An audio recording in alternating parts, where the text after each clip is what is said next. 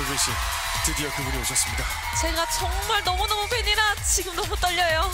저도요, 빨리 만나보십니까? 빨리 만나볼까요? 네, 안녕하세요. 안녕하세요. 아이유입니다. 반갑습니다. 반갑습니다. 네, 정말 오래 기다렸습니다. 정말 오래간만에 뮤직뱅크에 찾아주셨는데요. 네. 소감 한 말씀 부탁드립니다. 뱅크에서 팬분들 만나 뵙게 돼서 너무 설레고요. 기분이 좋습니다. 아, 네, 이번 정규 앨범이 공개되자마자 화제예요. 친곡 소개 부탁드릴게요. 네, 이번 제 정규 앨범 4집인데요. 타이틀곡 팔레트는 25살 저의 모습을 그대로 담은 곡입니다. 네, 이미 음원 차트는 팔레트의 색깔로 다 물들었더라고요.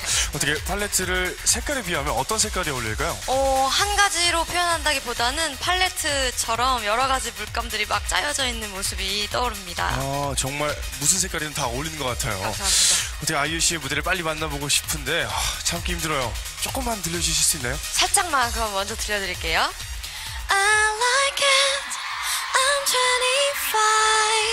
25. 까지 들려드리겠습니다. 와, 정말 최고입니다. 영광이에요. 저 집에서 일기 쓰겠습니다. 감사합니다. 네, 그리고 오늘 팔레트뿐만 아니라 특별히 또 한 곡을 더 준비해 주셨다고. 네, 뮤직뱅크에서만 보여드리는 이지급 무대를 준비했으니까요. 많이 기대해 주세요.